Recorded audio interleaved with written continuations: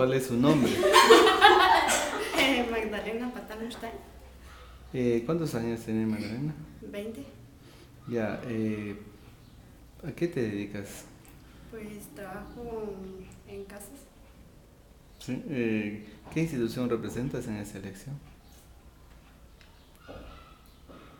doméstica. Do- En Cantón. En Cantón Sur. ¿Sí?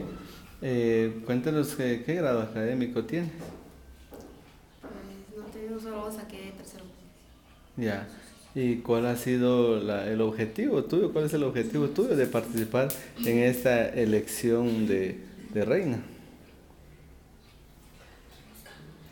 Bueno, pues a mí me buscaron por un, mi vecino que está ahí, pues me eligió a mí pues, para estar participando en este eh, concurso que están programando.